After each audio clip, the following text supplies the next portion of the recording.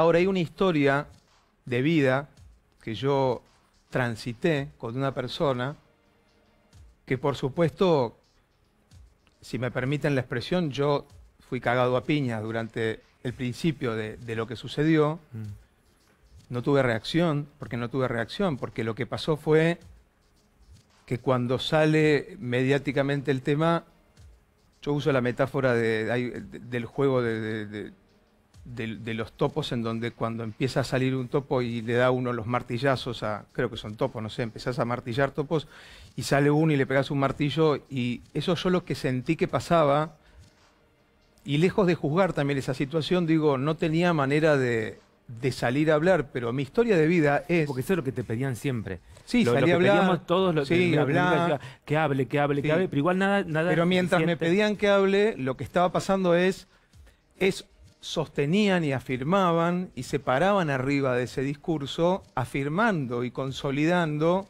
que más allá de lo que él pudiera haber vivido en su vida, yo estaba dentro de eso, y no solo eso, sino también ponían mi imagen, ponían mi foto, junto con la historia que había aparecido en ese momento, que me permito nombrarlo porque pasó paralelamente, ¿no? Una red de pedofilia, de pederastas, eh, un caso que tenía que ver con eh, Marcelo Coraza. eh, entonces se hablaba de pederastía, de pedofilia, de redes, de qué sé yo, Porque él, inicialmente había iba a denunciar. a Claro, Marcelo. exactamente. Por eso hacían el paralelismo. Exacto. Claro, pero el por eso es, yo digo, claro, yo lo conozco, yo tuve una historia con él, y él mintió, porque, y mintió sostenidamente porque él dijo que a los 14 años me había conocido, y yo lo conocí, primero que lo conocí cuando tenía 16, Mm. segundo, no hubo ninguna violación, en absoluto. Tercero, lo conocí cuando tenía 16, porque después en un momento hablaban, lo conocí cuando tenía 16 años, en abril, cuando dicen, ¿por qué tenés tan claras las fechas? Porque todo este tiempo, que dicen, bueno, ¿dónde estuvo Jay Mamón? Mm. Reconstruyendo toda la historia. Que además tengo claro, porque digo, porque fue una historia que duró, pues él, él habla de, de un hecho particular, yo hablo de una historia, de un... ¿Y yo digo que no- parecía bien, Jay? Porque yo te escucho hablar y si bien, digo, eran, eran otros tiempos, era otra época Bueno, donde estaba naturalizada. Yo lo conocí hace ciertas 15 cosas. años, 15 años, que estaría bueno también que cada uno piense dónde estaba hace 15 años. Eso para poner en contexto Mm. solamente. ¿Dónde estábamos cada uno de nosotros hace 15 años?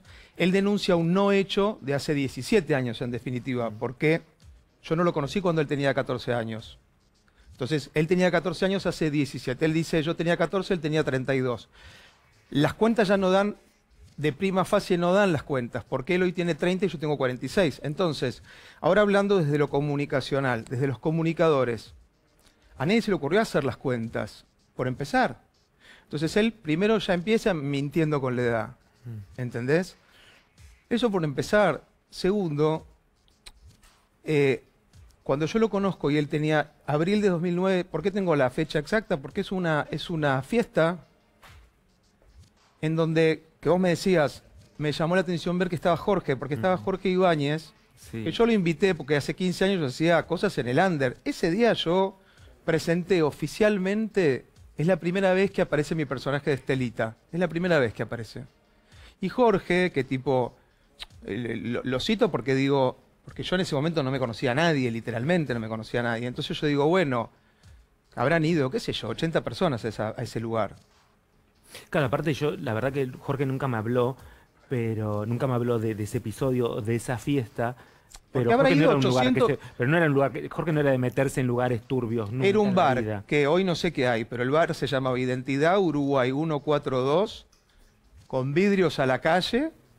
Hay un video de esa, de esa fiesta en donde él fue con otro pibe, porque se ve que estaba con ese pibe, y un amigo que esa noche, yo te digo por qué abril de 2009, y por qué el cumpleaños en septiembre. Bueno, estaba a cuatro meses y pico de cumplir 17, yo lo conozco esa noche, hace 15 años, vuelvo a decirlo.